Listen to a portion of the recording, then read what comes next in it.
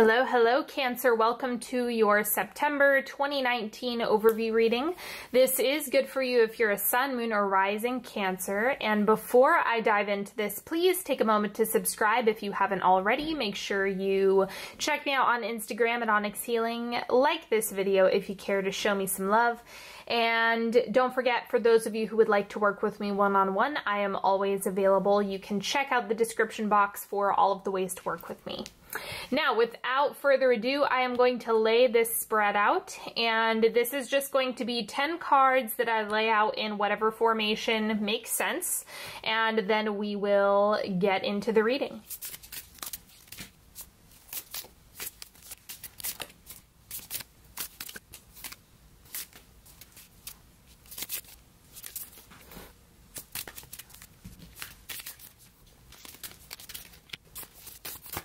All right, let's see what's coming up first for you. We have good things to come. There are so many amazing gifts coming my way. I can't see them now because I respect the general convention of not peeking under the wrapping paper, but they will show up when the time is just right, and that's when I'll remember how much fun it is to be surprised. Okay, good things to come. So maybe use that as a mantra for yourself this month. That might be really helpful for you, especially if you've been feeling like you're in a tough spot. All right, then we have true abundance is an inside job. Ain't that the truth? It requires you to tune things up internally in order for them to get reflected to you on the outside in the material world. So don't forget that. This would be a good month to really dive into where you might be feeling scarce or where you might be feeling as though there's not enough or you're short on something. And then we have Cobra. So this is about waiting before taking really radical action, right? So you might not want to shake a whole bunch of stuff up immediately. This might be a good time to just hang in there, wait and see. Oh, that's something that's been coming up quite a lot in terms of the wait and see where things go, wait and see where things land. I think that the Cobra is just reminding you take a moment to pause, contemplate, breathe into it before sticking to a decision or before coming to a conclusion. So I'm getting that this is more of how you can approach, like anticipate good things coming in, focusing on the abundance internally while being still and seeing what comes to you as a result. Of course, you're you're going to be continuing to take action throughout the month, but the thing is that you don't want to try so hard that you're missing where things could really pick up for you. So sometimes stillness might be the best solution to the problem rather than frantically taking action that's misdirected. Then we have the Seven of Wands. This is all about things getting easier. So coming out of the woods, getting out of sticky situations or things that may have been really fatiguing and exhausting. I'm getting this as an emergence out of that state. Let's see what else we have going on. Page of Cups. Okay, now the, the Page of Cups is about being honest with yourself, being vulnerable in ways that maybe you don't normally get the opportunity to do, just because the Page of Cups is kind of like it, it predates things that happened that made you feel jaded. This is going outside of that altogether. So I'm getting that really how you're going to elevate yourself this month is by getting back in touch with that sensitive side of yourself, the part of you, of course, since you're you have Cancerian energy, that's not an issue, but it's more of not expecting bad things to happen. That's what you're flipping around this month, like anticipating the worst. That's what seems to be transitioning. That's why you had the good things to come card come up. This is important because it's drilling the message that good things can happen, good things do happen, and that's where you can really put your mindset in order to help you this month. But you have to be willing to see it that way. If you just already go in with your expectations set, then you're not going to get the rewards of the Page of Cups. Let's see what else is going on. We have the Ace of Wands, Initiation, This is a great card to get started, take action, make it happen, do the thing. Now, you're going to want to balance that with also your energetics as well. So remember, because of the Cobra, it's like this is a good initiation card. Aces often are, but it's also about having an energetic bounce back. Like you're feeling as though you're more yourself, you're feeling as though you have energy that may have been lost during this season. And so this is actually going to be kind of recharging for you this month. That's at least what I'm getting from this so far. It's really where you're able to recuperate and have your bounce back. And then we have temperance. So this is balance. That's what I was mentioning before with the cobra is like not taking misdirected action that doesn't make sense for you. The temperance card is a reminder of that. It's saying figure out what action does make sense, how you're balancing that out with everything else that you have going at this time. And that's where you're going to find your sweet spot. It, some, of course, it's a case by case basis, but essentially there are times when you want to take a whole bunch of action, and there's times when you need to pause. So figure out what the right balance is for you. Have you, because if you're feeling frantic, then the solution is to slow down. But if you feel like you've been slowed down, then it's going to be weaving in some some action that makes you feel confident. And then we have the King of Pentacles power, authority over resources, really flexing your abundance this month, like your belief in yourself in order to cultivate that. That's the abundance is an inside job. The King of Pentacles is a reflection of how you can embody that more and more. Let's see what else is going on. We have the Three of Pentacles, so it takes work. It is going to take effort, right? I'm going to clarify these two together because they seem to be playing together when I'm reading this.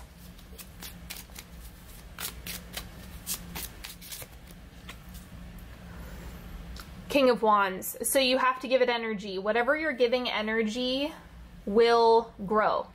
It will gain steam, it will pick up, but you have to be consistent. You have to kind of commit to it. So that's what the King of Pentacles is reflecting here. It's a long game. This is a long-term project. And the King of Wands reminds us that it's the consistency and stability of that energetic investment that really allows us to build whatever we want to create. So that is what the Three of Pentacles is reflecting. So all of this is kind of in service of your projects, your endeavors, your pursuits, your manifestations. It's interesting, the way that I kind of am reading this layout for you is this is more of your external world, kind of what's going on on the outside.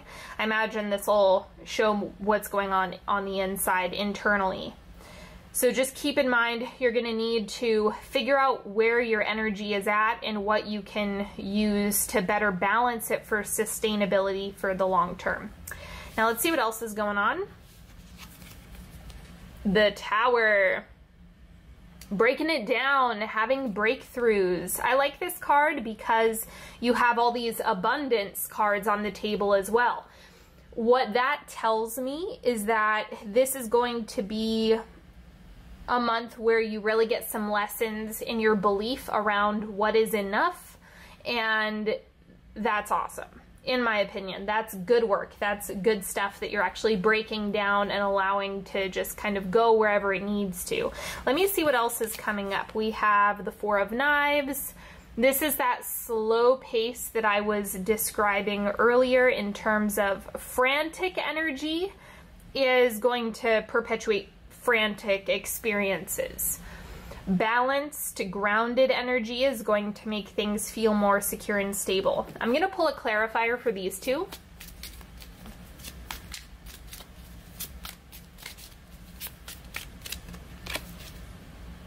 Ten of Wands. So if you're staring at things so closely that you start to get yourself worked up or you think yourself into a tizzy and you can't see the solution outside, that means you really need to either delegate, take something off your plate, you know, scrap a project for the time being. You can come back to it later. And taking time to center yourself and get quiet that's what the Four of Knives or the Four of Swords is reflecting here. But the Ten of Wands is overwhelm. Needing to problem solve so much to the point where it's just causing backlash is not going to be a good strategy for you. So kind of allow allow your belief systems to be challenged by the idea of if I perhaps do less or if perhaps I don't get at myself as worked up as I was before, what happens? Kind of use it as an experimentation, not with something big or time sensitive, but if you can do that with something small and really push yourself to see, does your world burn down in flames? I highly doubt that. It can, it, it might just be that your energy is matched in that situation. I hope that makes sense. I kind of feel like I'm rambling, but it's all about the state that you're in and trusting your energetics more than a lot of the other stuff that you might have reflected. And then we have the Four of Pentacles. This is all about scarcity coming up right here. Scarcity, not enough time, not enough energy, not enough resources, not enough, not enough, not enough, not enough. So then I would ask you, is the problem that you're facing or is whatever might be on your mind a problem that is so massive that God can't solve it. That whenever I'm feeling really worked up, that's kind of where I go. Like, is it, can God seriously not solve it? Or the universe, divine source, whatever you like to work with, it doesn't really matter. The Four of Pentacles is just a major reflection of where you feel like you're scarce or like you don't have enough or that there's no way out, that's where you're really doing the work. That's what's being broken down. Also around those of you that are over functioners, if you pour a whole bunch of energy into something until you're burned out and you're kind of addicted to that stress cycle, this is something that's going to be showing you another path and another way. And then we have the Six of Wands. This is victory, you getting to where you're going, what you need to do kind of getting a helping hand as well along the way. That's something that I'm definitely seeing with this card as well. So I just see this as you're it's kind of like you don't have to sacrifice yourself in order to get what you want, but that might be a belief system that's still there. Is like I have to suffer in order to make things work or this has to be as hard as possible in order for me to see results. You know, that that's just a belief system. That's not an actual reflection of reality. It's just something that you may have been programmed to believe. And it's all coming down in September. And then we have the Knight of Pentacles.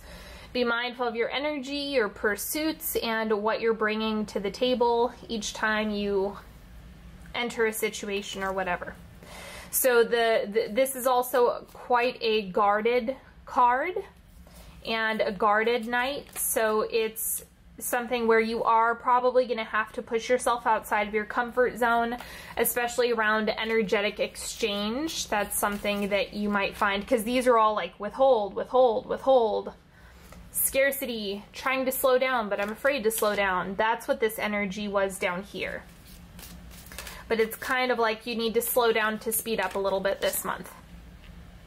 And it's okay if that feels really scary in the moment. You're just using it as an experiment to see what happens. Now we're going to do a three card pick. You're welcome to pick a card, any card, as few or as many as you'd like. Ask a question, whatever you need. Card number one, the sun, vitality, energy, having fun, enjoying yourself, it's like play, make time for play. That could be really useful.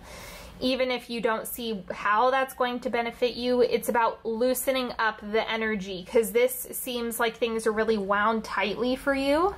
And this is about releasing some of that in some capacity, enjoying yourself more, enjoying the process more, figuring out ways to actually make that a reality. Card number two, we have the Six of Pentacles, give and take, input, output.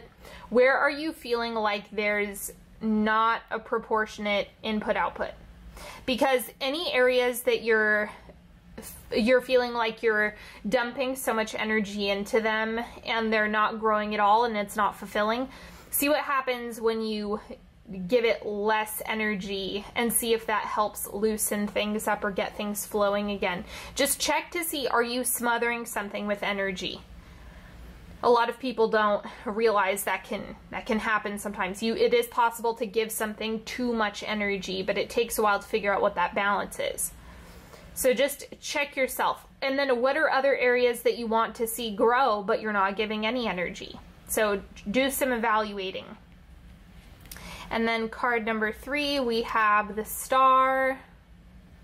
Everything is working out for your highest good, even if you can't see it. And I know that can be kind of a tough pill to swallow. But you, like, your faith has to be greater than the stuff that pops up. That's kind of the only way you're going to be able to maintain it, you know? So this is just a huge reminder like, yes, you're moving with the current in the right direction. Things are progressing as they need to. Count everything as a blessing.